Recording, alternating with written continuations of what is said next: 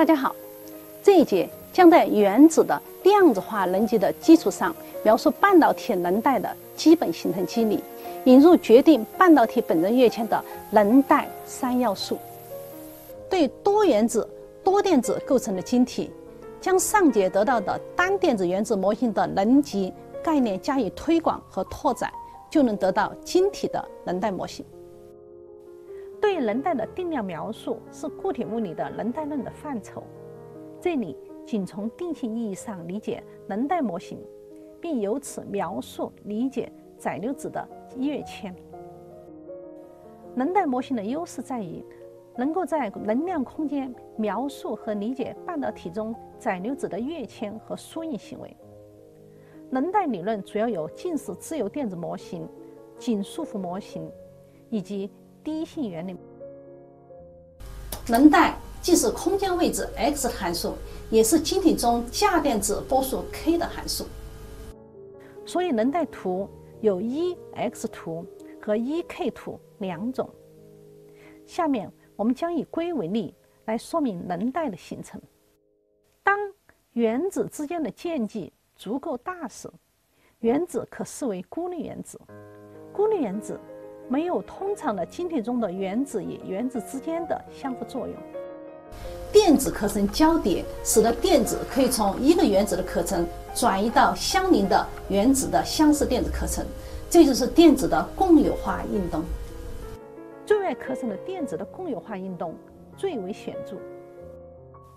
形成晶体后，原来的孤立原子能级发生移动、分裂，分裂的能级。集聚成为能量值非常接近的一系列准连续能级，它们覆盖一定的能量范围，就称为能带。如图所示，内壳层的电子原来处于低能级，共有化运动弱，所以能级分裂小，故其能带窄。外壳层的价电子位于高能级，共有化运动最为显著，能级分裂也最为显著，所以其能带是很宽的。当相邻原子的间距缩小到晶体的原子间距时，能级的进一步分裂最终导致出现引许的能带，即隐带。相邻隐带被称为近带的区域分隔而开，在近带中没有引许的电子存在的能级。近带上面的隐带是空带，我们。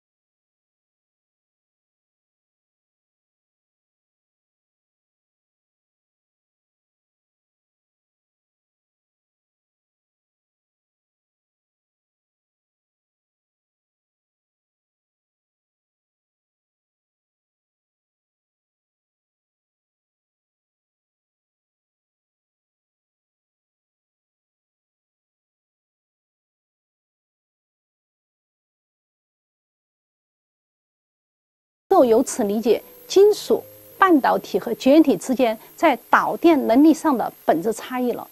我们下节见。